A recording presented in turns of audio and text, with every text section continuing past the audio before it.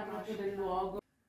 Come verrà utilizzata eh, la donazione? Eh, applicandola su una serie di progetti, l'accoglienza gratuita per le famiglie che vengono da fuori di Trieste durante il ricovero dei loro piccoli, eh, il supporto psicologico ed emotivo durante la degenza eh, dei bambini, quindi anche dei genitori all'interno del reparto, nonché un appoggio anche economico, quindi un rimborso per le spese di viaggio. Molte famiglie vengono da fuori eh, e hanno in un momento come questo, insomma anni come questi, anche la necessità di poter essere supportate sotto questo punto di vista qui e anche in un ambito di gestione dei volontari di ABC.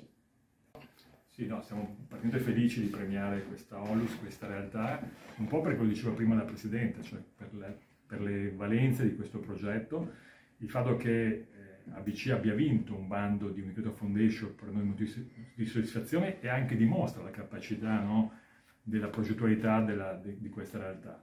E per l'impatto che produce, io sembra che questo questo welfare indiretto no, a volte non si percepisce, ma in realtà crea un meccanismo virtuoso no, di aiuto che purtroppo molte le realtà pubbliche non riescono a, a fare. Quindi il fatto di unire pubblico, privato, enti, associazioni, banche che possono aiutare credo che sia un, elemento positivo per tutto il territorio. Quindi oggi credo sia una bella giornata e siamo particolarmente felici di essere qui.